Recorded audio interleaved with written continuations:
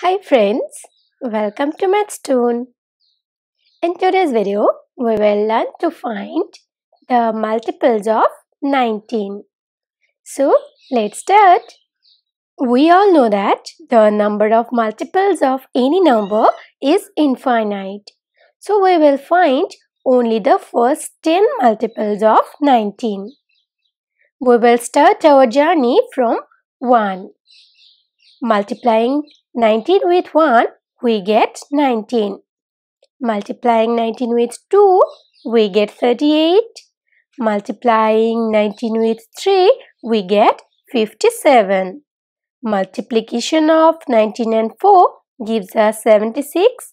Multiplication of 19 and 5 gives us 95.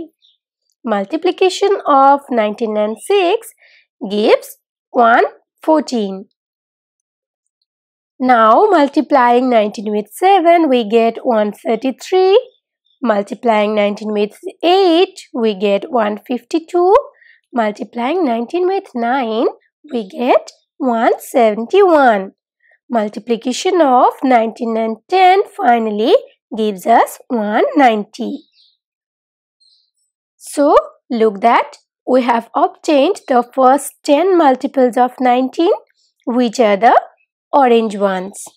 These are 19, 38, 57, 76, 95, 114, 133, 152, 171 and 190. Following the same way, you can find more multiples of 19. Thank you for watching. Please like and share this video if you find it useful, please left your comment in the comment box.